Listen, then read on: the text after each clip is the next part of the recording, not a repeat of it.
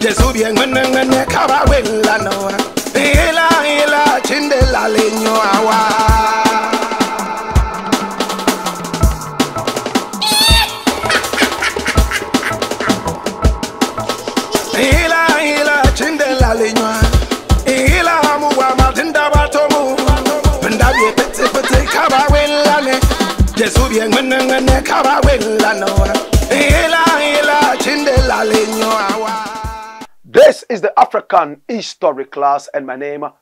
Black Rasta. Now, today we have an interesting story to tell. Remember, our ancestors say that until the lion learns to tell his own story, the tale of the hunt would always glorify the hunter. That is why we must tell our own story from our own perspective. Today, we're going to be telling you the story of a Ghanaian spy who outsmarted, in quotes, the American CIA. America is a great country, a very huge nation. How did a small country like Ghana outsmart America in terms of intelligence? Today we are telling the story of Michael Agbotui Soussoudis. Michael Agbotui Soussoudis was born in April 1946. He lived in West Germany and he went to college in New York City in America. Whilst he was in America, he dated a number of American women. And he was told time and again how handsome he was, how romantic he was by the American women. So growing up, he knew that his biggest weapon, his looks, his handsomeness, and his eloquence. He got married to an American woman, but they divorced in no time. Now, hear this interesting thing. After the divorce, he decided to relocate to the home of his birth, the home of Ghana. When he arrived in Ghana, he became very good friends with the then leader of the nation, Jerry John Rawlings, who himself was half Ghanaian and half Scottish. Michael Agbotui Soussoudis spoke with Jerry John Rawlings, and Jerry John Rawlings realized that he could use him as a Ghanaian intelligence officer, the very first of his kind. And this was how he was able to achieve something historical for Ghana and the rest of the world. There was a young lady by name Sharon Scranage. Sharon Scranage was born in October 1955 at the age of 21. In May 1976, she decided to join the CIA as a clerk stenographer. She joined it and she was posted to Ghana to serve in this capacity under the then American ambassador to Ghana by name Robert E. Fritts. Robert E. Fritts himself had been told by the end of 1982 that the following year he was supposed to be in Ghana as the Ghanaian representative, in fact, the American representative in Ghana, the American ambassador.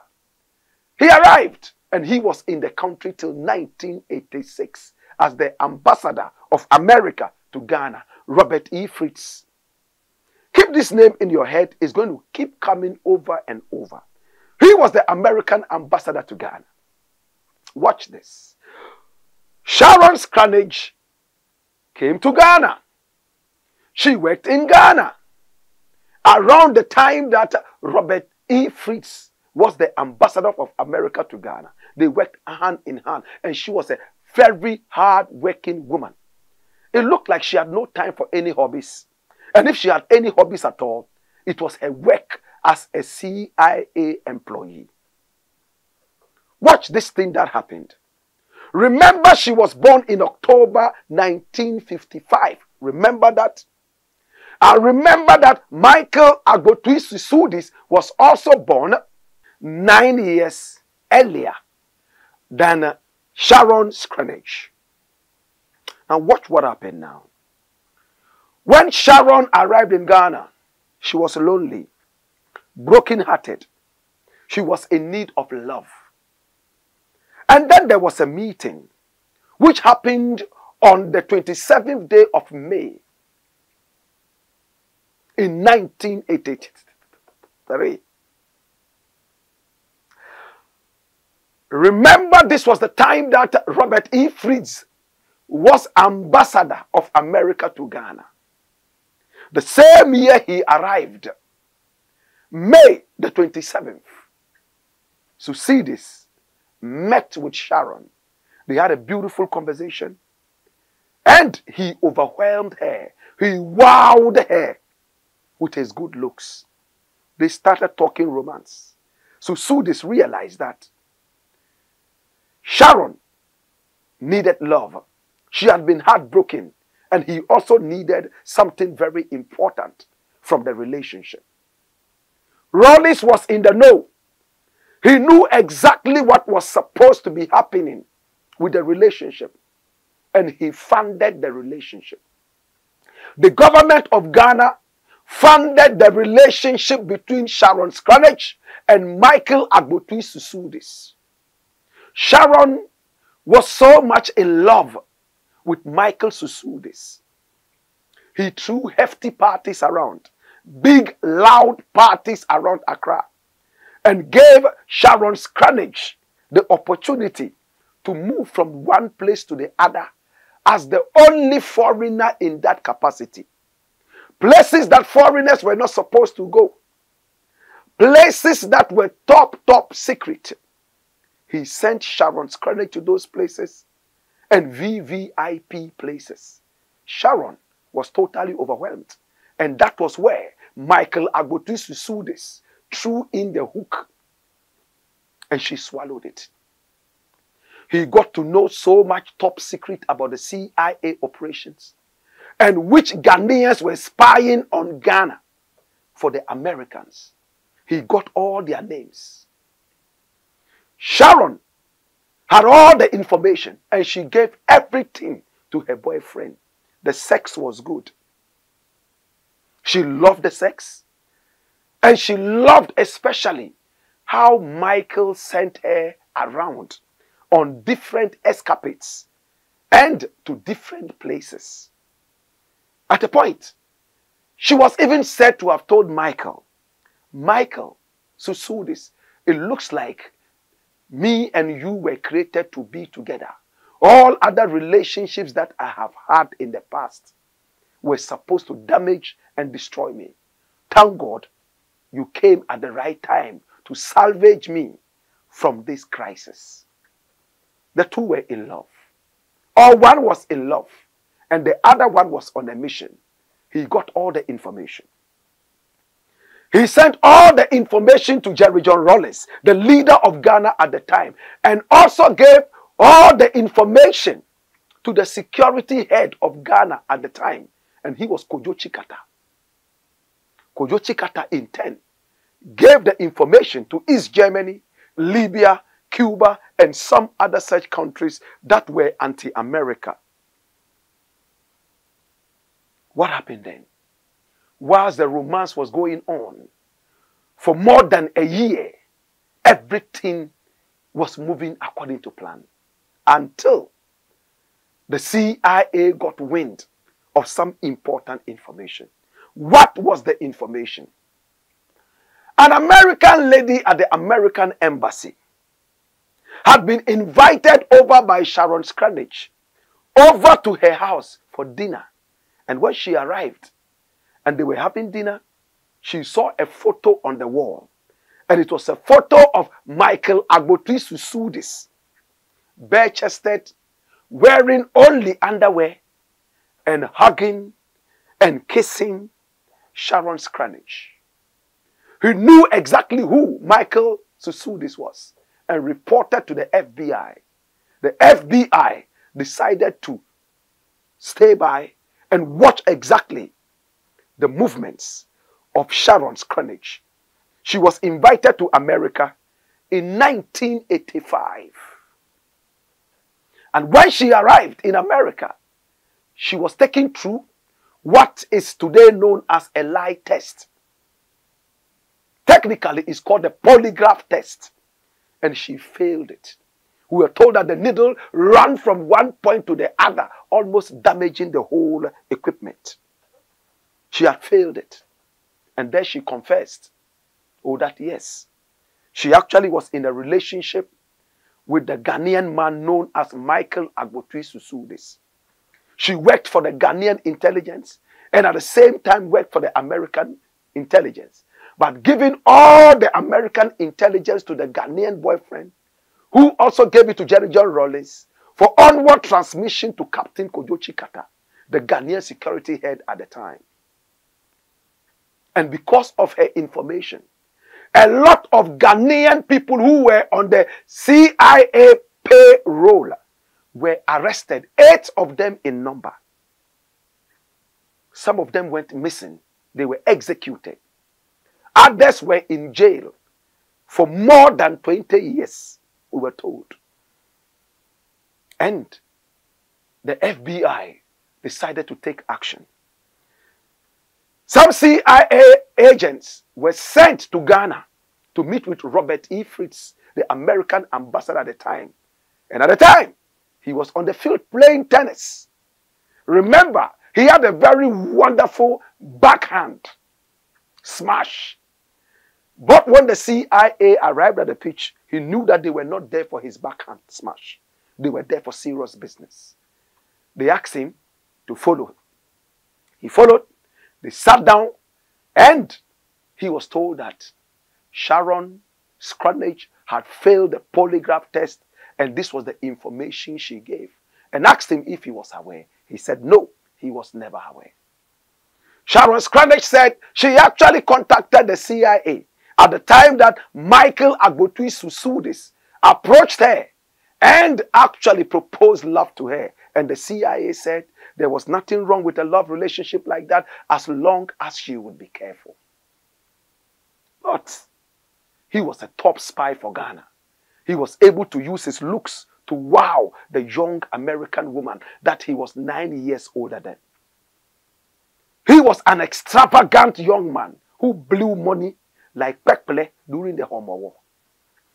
He was a very handsome, tall gentleman who had the key to every nook and cranny of the nation. And they flew outside the country in a love bonanza and extravaganza. Michael Agbotui Soussoudis. He got all the information he needed and started to backtrack a little from the woman. But listen to the interesting thing. When Sharon Scranage was arrested, she was told the danger of what she had done. After confessing, they now asked her to lure her lover, Michael Agbotui Soussoudis, into America. And she did. When Michael Soussoudis asked, Why do you want me to come in a hurry? She said, I miss you. I miss that beautiful thing that you used to give to me. Please come and give it to me again, or I will commit suicide. And quickly, he jumped on the next plane and he was in America. He went all the way to Northern Virginia in a hotel known as Motel 50. And there he went, quietly waiting. Whilst he was there, he stripped naked, lying on his bed and imagining what he could unleash on Sharon Scranage in terms of his libido. My God. Watch what happened now. Instead, when the knock on the door was heard and CIA agents approached, he knew that he had come to the end of the road. He quickly made a call to Rawlings and told Rawlings what the situation was. He was allowed to speak to one or two other Ghanaian top officials. And then he was carried away. When he was taken away, he was tried and he was jailed for 20 solid years. But then, the Ghanaians had about eight CIA agents who were Ghanaians and even Americans who had been working for the American intelligence, giving information to the American people, information about Ghana and beyond. Remember, Rawlings at the time was a military leader. And he was so suspicious of anybody around him, including the Americans. And this was what happened. When the information came out that Michael Agbotui Soussoudis was arrested, it was rife in the Ghanaian media that the American intelligence system had tried to overthrow Rawlings. And for that matter, Ghanaians were standing up against the American people. It was a very terrible time for the American ambassador, Robert E. Fritts. And in his own words, he didn't think that he was able to, he was going to be able to live another month. He was even told by the Ghanaian authorities that his safety was not guaranteed in the country. But he stayed and stood his grounds to negotiate. What was the negotiation all about? We will give you back Michael Agbotui Soussoudis, but release all the eight prisoners that you have. They are all Ghanaians. We have a couple of Americans amongst them. Release them, and then we will release Michael Agbotui this to you. Whilst negotiations were going on, there was a man by name Obed Asamoah who also came into the picture. Rawlings was not ready to understand anything. He was angry with the Americans, but it took Obed Asamoah to come in. According to Robert E. Fritts, the ambassador at the time, it was a difficult negotiation, but Obed Asamoah was very, very professionally technical. It took six months of negotiation whilst Michael Agbotui Soussoudis was in American custody. But they finally came to an agreement. There was another man from the American side by name Chet Crocher. Some people will pronounce that name Chet Crocher. What did he do? He was the man who also took a hard stance and said, Listen, if a small country like Ghana wants to make an enemy out of huge America, then let it be. It was then Rawlings realized that no, he was not ready for the American enmity. So they agreed with the negotiations. But listen to what came up next. They agreed that the two nations would announce the truce or the agreement at the same time. They gave the time. But the Americans decided to announce it several hours earlier, and Rawlings got mad. You have broken the agreement. We agreed that at this time we will both announce it, but you went ahead to announce it. CNN has carried it, and even VOA has carried it. So the six months of negotiations crashed to the ground again. And this time around, Ghanaians were even more angry ready to attack the American embassy. But this early announcement was done by the Justice Department of America. And the ambassador was so unhappy about it. He called the American people and said, Listen to negotiations that we have had for six solid months, so grueling. Now, one announcement has destroyed everything. They now have to go back and renegotiate. Rawlings was not ready to appear there. It took Obed Asamoah and a few other people to come together to do that. This time, Rawlings made it clear that intelligence had shown that there were some eight Americans at the American embassy who were working against Ghana. And for that matter, they should be expelled within 72 hours. The American embassy complied and removed all eight people. But look at what the Americans did. The Americans also decided to retaliate. They went to Washington and removed eight Ghanaians, exactly the same number, from the Ghanaian embassy in America and sent them home in deportation to retaliate. As if that was not enough, they also suspended every aid to Ghana and the Rawlings administration started to fret and sweat. But they finally agreed, after all these sanctions and suspension of aid. And Michael Agbotui Soussoudis was brought back to Ghana. And this happened in 1985. 1985, when he arrived, Ghanaians clamored around the airport, singing and dancing, that a true son of the land who had conquered the CIA and the FBI combined, using his beautiful looks, had returned home. Yes, he returned home, but the Americans had the eight Ghanaians freed from custody. In fact, their Ghanaian citizenships were revoked by the Rawlings administration and they were given fresh American passports and American citizenships. In other words, these were Ghanaians, but they were working in the interest of America. For that matter, Rawlings said they had already looked down on their Ghanaian heritage and citizenship and they were not qualified to be called Ghanaians. But the Americans received them and said, Yes, even though you are Ghanaians, you are proving to us that you love America more. For that matter, we have given you American citizenship. And they were flown all the way to Virginia, where they were resettled. Today, we have an interesting story. It's the story of espionage. The story of how a Ghanaian spy, a top Ghanaian spy, was able to outsmart the CIA and the FBI. But it took the prying eyes and the technical espionage power of the Americans to be able to suspect that one of their own was giving information out, very deep throated information to the Ghanaian people. Today, Michael Soussoudis is no more. But this story continues to be here. Michael Agbotui Soussoudis is no longer here.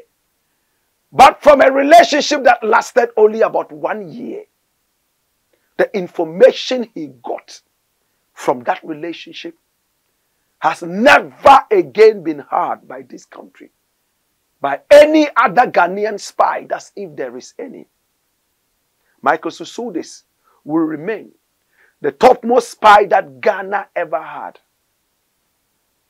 Michael Soussoudis remained an American enemy till his death. He was never able to return to America. He remained and died in Ghana as to whether he was honored or not. This is the story in the African history class about the Ghanaian spy who outsmarted the CIA and the FBI together. It's been the African history class, and my name, Black Rasta. Today we remember you, Michael Agbotui Soussoudis, born in April 1946. Today we remember you. Today we remember you. Today we remember you wherever you are. Deminifa due, due, due, due, due, due, due, due, due, ni amane hono. Uni yaminko, uni yaminko, uni yaminko. And in the burden of knowledge, I ask you, now that you know the story of Michael Agbotui Soussoudis, what would you do? Ole mi ni oba fe yenzu da ka gane me za ka yi ni ye ai pa banwo bo ka nan fifi nya na wo ehu e be den lele ya njima singa be konne lele ya njima singa be ri it's been the African history class. And my name Black Rasta. Ila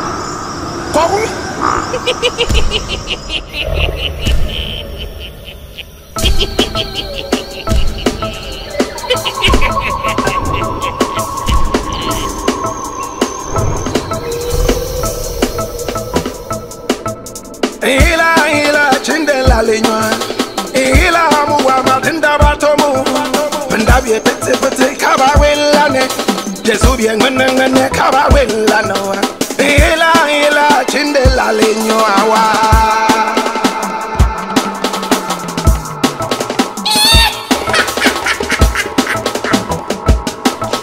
Ila ila chinde la lenyo Ila amu wa matinda batomu Penda bie tete ne Jesu bie ngwene ngwene noa Ila ila chindela lenyo awa.